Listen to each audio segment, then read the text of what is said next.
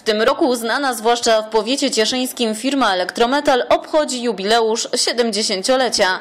Główna uroczystość odbyła się w Cieszyńskim Teatrze. Swoje początki mamy już z 1922 roku, bo tu już działała polsko-francuska firma, która w czasie wojny przestała działania i praktycznie w 1948 roku nastąpiła jej reaktywacja. Najpierw spółdzielnia pracy Franco Polo, potem od 50 roku już jako Elektrometal przechodziliśmy kolejne etapy połączenia.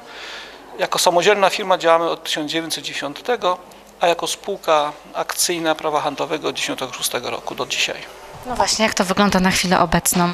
No dzisiaj jesteśmy istotnym graczem, jeżeli chodzi o dostawy urządzeń dla górnictwa i gazownictwa na rynku polskim, nie tylko. Spółka jest w tej chwili firmą, która działa na cały świat.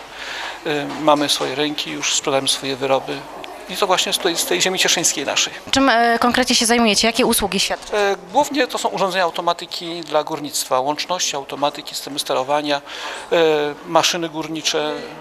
Jeżeli chodzi o gazownictwo, praktycznie każdy z mieszkańców Polski może doświadczyć tego, bo skrzynki gazownicze i wyposażenie to jest w znacznym stopniu nasza produkcja właśnie. Gazomierze, reduktory, skrzynki gazownicze.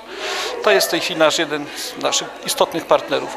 Oprócz tego świadczymy generalne usługi dla, e, jeżeli chodzi o polskie górnictwo, kompleksowe wykonanie węzłów technologicznych, maszyny wyciągowe, e, pompownie głowowne, rozdzielnie elektryczne. Bardzo szeroki zakres pracy. Zatrudniacie sporo osób.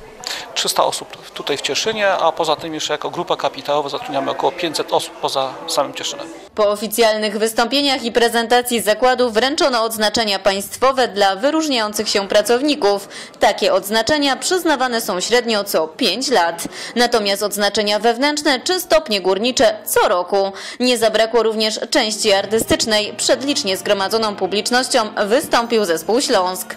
Dla portalu Śląska Cieszyńskiego XPL Marta Szymik.